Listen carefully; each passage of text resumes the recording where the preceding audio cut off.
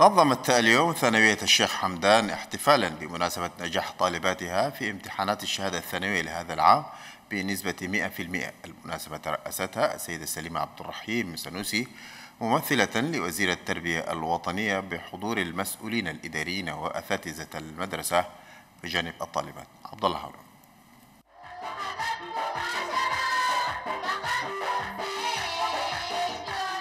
ابتهاجا وإدخال الفرحة والسرور في نفوس الطالبات المتفوقات في الشهادة الثانوية العامة لثانوية الشيخ حمدان عالم مكتوم. تأتي هذه الاحتفالية تشجيعا لهن على ما بذلوه من جهود مثمرة استحلت المناسبة بكلمة ترحيبية قدمها أحد أعضاء هيئة التدريس مرحبا فيها الجميع على حضورهم المشرف.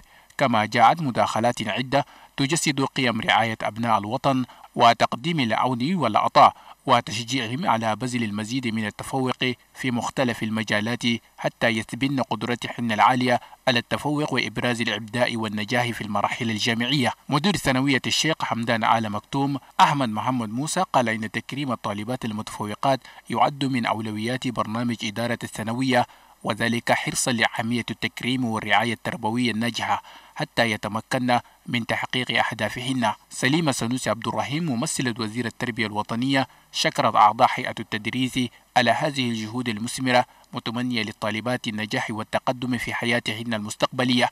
كما شهدت المناسبة تقديم شهادات شكر وعرفان على كبار ممثلي الثانوية بمختلف دول القارة الإفريقية الذين شاركوا في هذه الاحتفالية. نظم اليوم طلاب المعهد العالي للتقنيات الصحية بالتعاون مع إدارة جامعة الملك فيصل والمركز الوطني لنقل الدم. نظموا حملة وطنية للتبرع بالدم لصالح المرضى وقد شارك في هذه الحملة عدد كبير من الطلاب المسؤولين في هذه المؤسسات الآنفة الذكر. أوضحوا بأن هذه الحملة لم تكن الأولى ولا الأخيرة بل ستتبعها حملات أخرى من أجل إنقاذ عدد كبير من المرضى خاصة الضعفاء منهم. وتندرج هذه الحملة أيضا في إطار الأنشطة التي تقوم بها تلك المؤسسات التعليمية تجاه المجتمع.